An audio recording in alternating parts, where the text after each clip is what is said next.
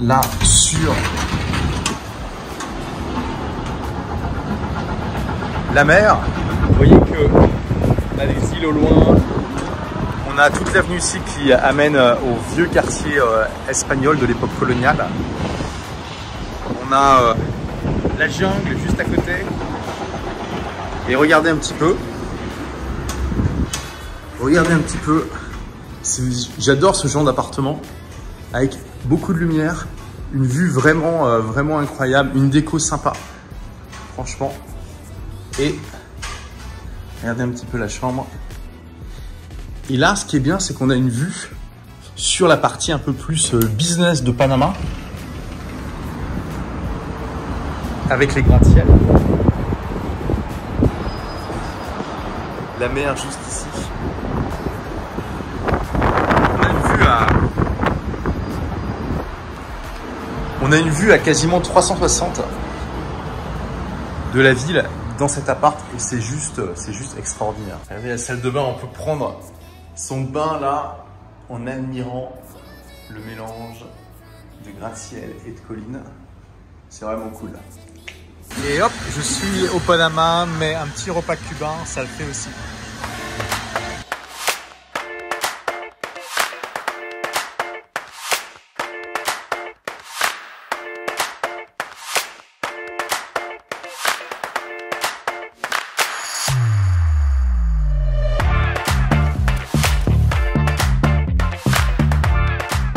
Les amis, je suis avec le seul, le vrai, l'unique.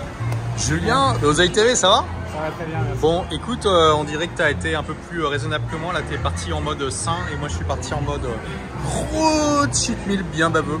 Mais voilà, faut savoir se faire plaisir. Et franchement, c'est pas mal, hein Cet endroit euh, est très très cool. Bon, les amis, regardez, ça fait vraiment plaisir parce que ça commence à prendre forme. Plus de 130 000 mots dans le manuscrit de mon deuxième livre. Bon, je suis encore loin d'avoir terminé, mais là, je pense que la publication pour 2024, euh, ça va le faire. Et vous voyez, pour ça, j'adore me prendre des beaux Airbnb avec des belles vues. Ça me permet d'avoir une vue inspirante et d'être ultra productif. Là, euh, j'écris facilement 1000 mots par jour, ça fait plaisir. Bon, c'est parti pour euh, une vidéo euh, avec le seul, le vrai, l'unique. Julien, C'est bien, ça va? On va parler de quoi? On va parler de fiscalité, de mythes, on va débunker un petit peu des idées reçues qu'il y a autour de l'expatriation et des expatriés fiscaux. Voilà, et donc on fait ça chez toi avec toujours quand même une vue assez sympathique, hein, il faut bien le dire. Ça le fait.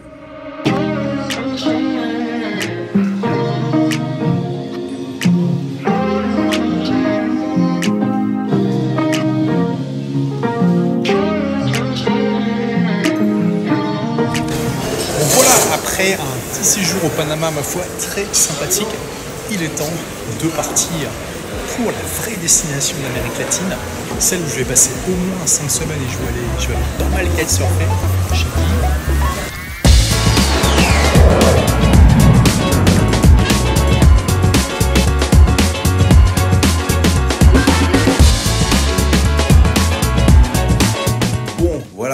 C'est le matin après une bonne nuit de sommeil. Je vous fais visiter un petit peu là. On est arrivé euh, chez euh, nos amis Franck et Steph. Et regardez un petit peu. On est dans un endroit très très sympa. Donc là, c'est la chambre d'amis. Et donc on est à Florianopolis au Brésil. Et il y a une vue, ma foi, fort sympathique. Et puis il y a Sidney là qui vient, qui vient nous dire bonjour. Ça va Sidney?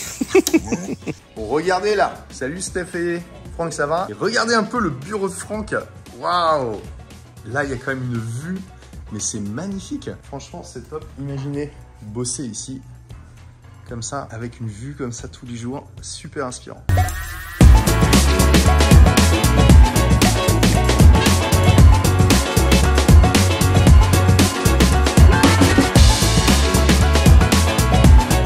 Bon les amis, là les vacances commencent vraiment. Bon dans quelques jours, on va à côté de Jericoacoara pour kitesurfer tous les jours pendant un mois. Et là déjà, on profite quand même pas mal des plages de Florianopolis.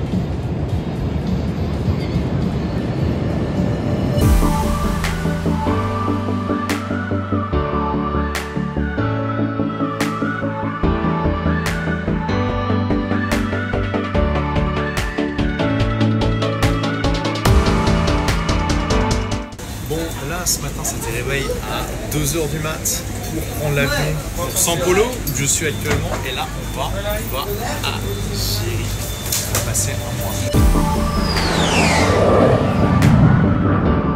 Bon, ça y est, après un voyage quand même de, quelques heures, nous voilà dans le paradis. Je vous fais visiter un petit peu euh, le bungalow. On va rester un mois, donc avec euh, ma foi une vue euh, fort sympathique. Regardez ça. Franchement, ça va être de la balle. Ça va être de la balle. Regardez un petit peu ce petit nid d'amour, complètement ouvert, mais il y a une moustiquaire hein, pour nous protéger quand même. Voilà, grande buanderie pour mettre toutes nos affaires. Toilette et puis la douche qui est, euh, est juste là et qui est aussi euh, très sympa. Voyez, tout ça en matériaux aussi euh, sympathiques. Voilà, on est littéralement dehors et ça fait plaisir. Là, le but, c'est vraiment de devenir bon au kite pour qu'au bout du mois, là, je fasse pas mal de trucs. Là, c'est le matin et franchement, ça fait plaisir de se réveiller dans ce paradis. C'est vraiment, vraiment magnifique. Bon les amis, un des plaisirs du Brésil, c'est ça, les aguas de coco. Voilà, vous commandez votre, votre coco fraîche et puis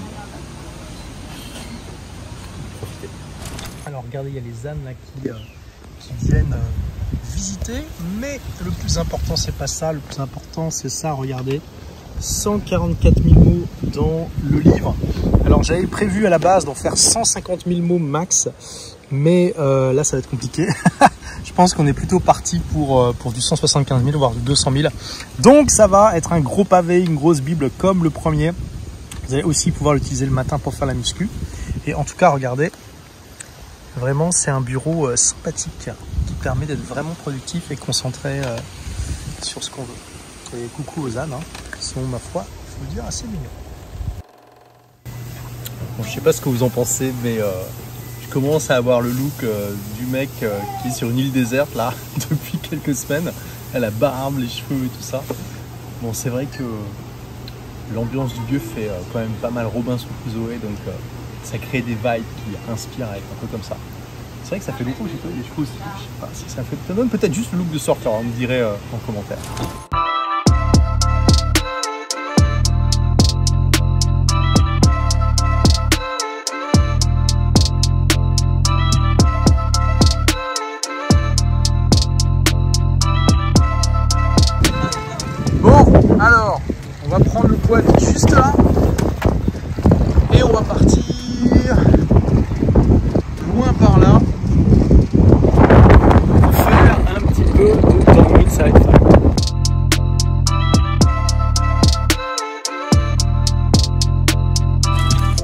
Ça.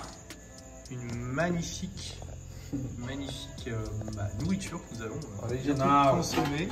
Et regardez aussi, superbe barbecue là. Et je pense qu'on a mis un petit. Wow! You French is really improving, man. Et je pense qu'on va avoir un petit peu trop de nourriture, mais bon. Toujours dans ce, dans ce bel endroit. Tough luck, babe. Struck out when you had about 30 chances. One bad day, now you don't know how to pay for the damage. I don't wanna climb if I'm gonna fall back. Donc voilà, après une bonne soirée à Géry, là on rentre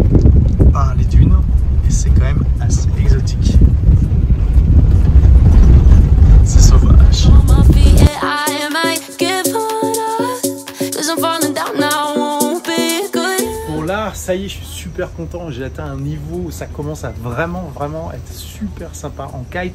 Au début, bah, on dépense beaucoup d'efforts pour pas grand chose. Là, j'ai fait une session de 1h30 dans l'eau à faire un downwind sur quasiment 10 km. franchement, euh, j'ai pas de courbature.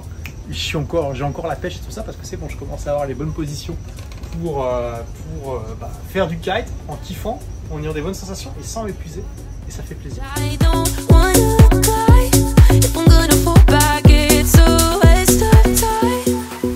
Là, on est en train de visiter une mangrove. La dernière mangrove que j'avais visitée c'était à Abu Dhabi. Donc voilà, des mangroves de par le monde. Alors on doit mettre ce, ce gilet ridicule, mais bon voilà, faut ce qu'il faut.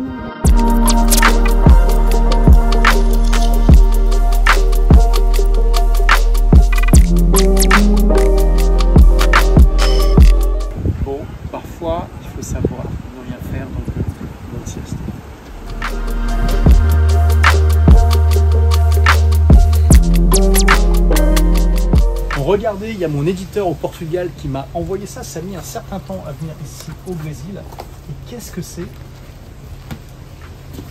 Et oui, la version en portugais de Tout le monde n'a pas eu la chance de rappeler cette étude, Avia Robelge Intelligence. Alors c'est en portugais du Portugal et le portugais est plus différent du brésilien que le québécois et du français par exemple. Euh, mais bon, un brésilien va pouvoir lire sans aucun problème, donc euh, je vais pouvoir donner ça à mes amis du Brésil. Bon, c'est parti pour euh, un downwind de. hmm, je pense qu'on va faire euh, 30 km aujourd'hui. On va voir.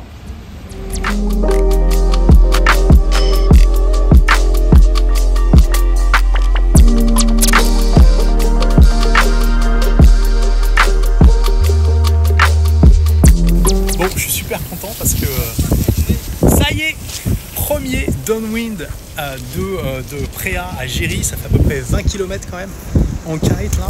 Euh, puis regardez dans quel paysage, dans quel paysage on termine, c'est juste euh, magnifique avec le coucher de soleil là.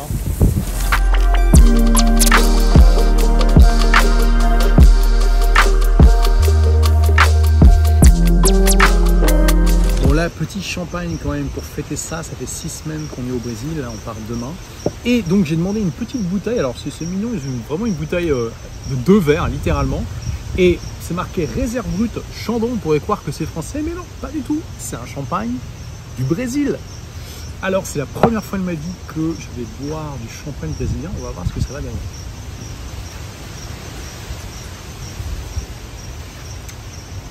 C'est ok.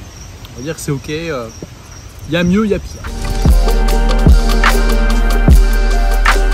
Bon là c'est parti pour l'aéroport de Fortaleza, prendre l'avion pour Lisbonne, donc on va rester dans un pays de langue portugaise, c'est plus rigolo. Je profite euh, du paysage sympathique entre euh, Préa et puis, euh, puis Fortaleza. Et euh, c'est parti pour un petit vol de 7 heures.